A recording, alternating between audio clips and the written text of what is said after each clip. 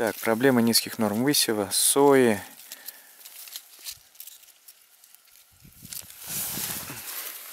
Когда растение получается достаточно питания, оно формирует боковые стебли, которые по весу, наверное, приравниваются центральным. И они в итоге ломаются.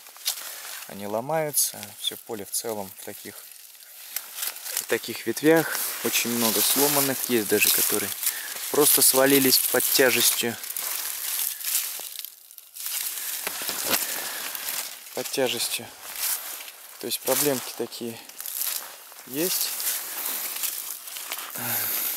И плюс еще то, что бобы формируются практически начинают от земли формироваться. Тоже это, эта проблема тоже есть. Вот так вот. А так, конечно, выглядит...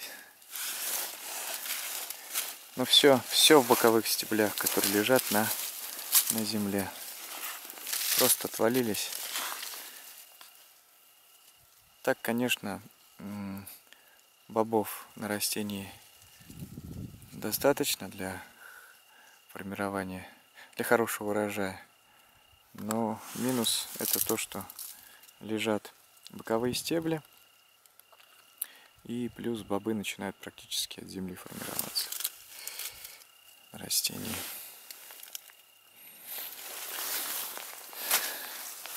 То есть должен быть низкий срез.